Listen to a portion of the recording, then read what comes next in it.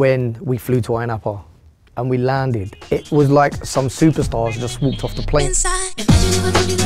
When you walked into a garage rave, the atmosphere, it would just hit you. It was electric. It was like nothing that you could replicate. The music was addictive.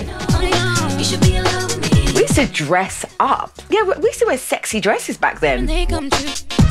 Whatever you're wearing, you got your Cox on the bottom, your thing swagged up, you're nice now, you understand? I've been following him on Instagram for years and waiting for something. I think I've messaged him a few times and I don't know why, just like trying to get his attention. If you went to garage raves, you got to have a pair of Patrick Cox on. I think my favourite were the Pythons, and I used to sit there and just like stroke them like a baddie in a James Bond film. It's just two people who love dancing, who love nightclubbing, who love shoes, that met each other and did something fun together. I've done a collection with my absolute shoe icon, Patrick Cox. Bucket list tick.